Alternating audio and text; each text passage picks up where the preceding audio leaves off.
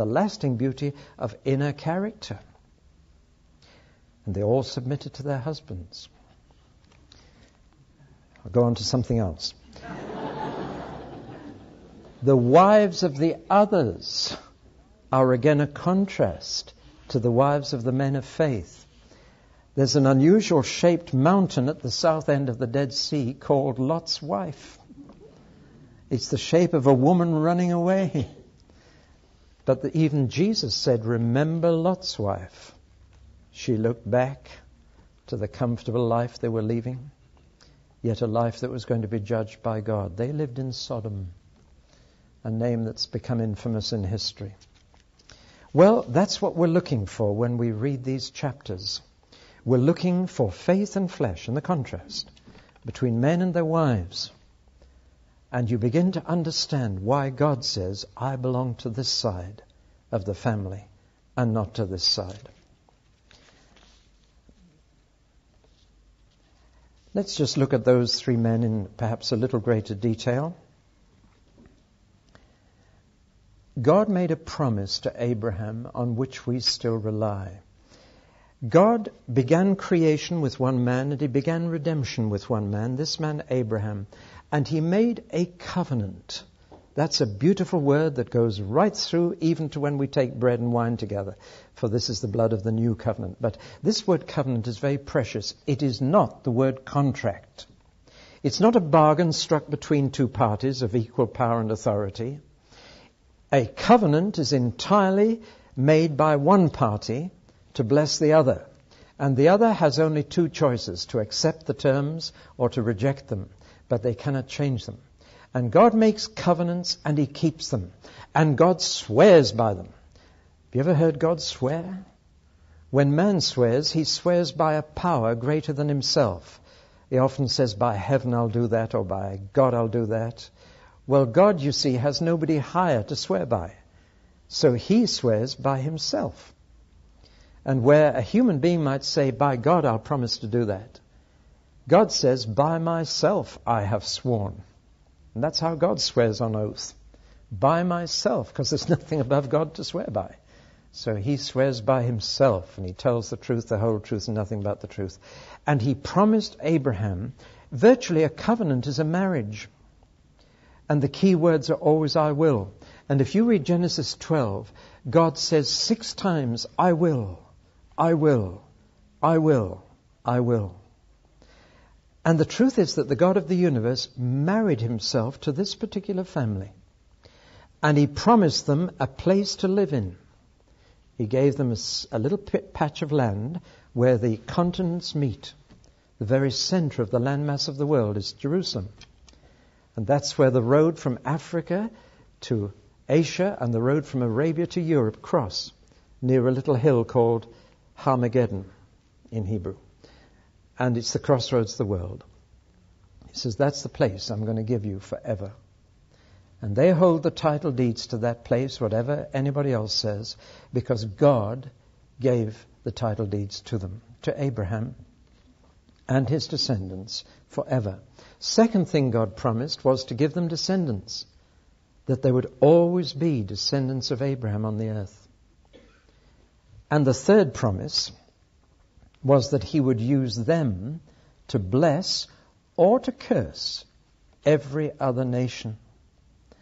Now that's the calling of the Jews, to share God with everybody. But that can cut both ways. God said to Abraham, Those who curse you will be cursed, those who bless you will be blessed. And it is still the truth, as many have discovered. Now that was his covenant. In return, God expected first that every male Jew would be circumcised as a sign that they were born into that covenant.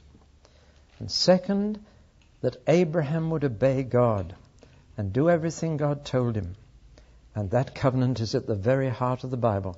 And on the basis of that covenant, God said, I will be your God, and you will be my people. That phrase is repeated all the way through the Bible until the very last page, and there it is again.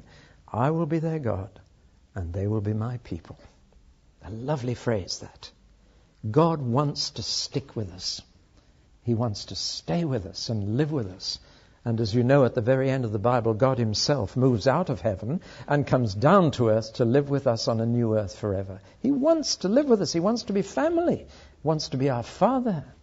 That was the whole purpose behind creating our universe and ourselves. Well, how am I doing for time? Two minutes.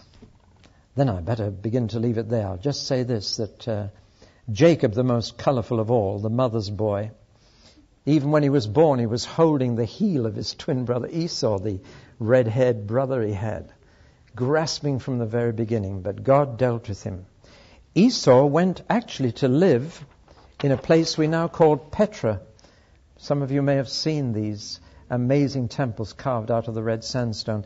Esau went to live here and formed the nation of Edom. And the hatred between Ishmael and Isaac is still in the Middle East, between Arab and Jew. But the hatred between Esau and Jacob has gone because the last Edomites were known by the name of Herod. And it was a descendant of Esau that was king of the Jews when Jesus was born and who killed all the babies in Bethlehem to try and get rid of this descendant of Jacob who was born to be king. Finally, I'd just like to point this out. Abraham, Isaac, and Jacob all showed their faith in one extraordinary way. They all, each of them, left to his son what he didn't possess. Abraham said, Son, Isaac, I'm leaving the whole land around you to you. And Isaac said to Jacob, I'm leaving the whole land to you. And Jacob said to his twelve boys, The whole land I leave in my will to you. And not one of them possessed any of it except one cave, the family vault in Hebron, the cave of Machpelah. Isn't that amazing? What faith to write a will leaving a whole land to your offspring when you've never possessed it but they believed that God had given it to them and that one day that whole land would be theirs. And finally, when I read Hebrews 11, I read about these men, Abraham, Isaac, and Jacob, and I read about their faith, and then it says this all these were still living by faith when they died. They didn't just believe for a day or two. When they died, they were still believing because they never saw the promises fulfilled. And listen what it says now in that same chapter. They were all commended for their faith, yet none of them received what had been promised to them. God had planned something better for us, that only together with us would they be made perfect. See, Abraham, Isaac, and Jacob are not dead. I've seen the tombs of their bodies in Hebron.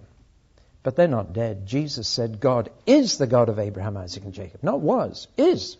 He's not the God of dead people, He's the God of the living.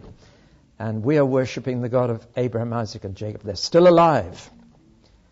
And without us, they will not be made perfect.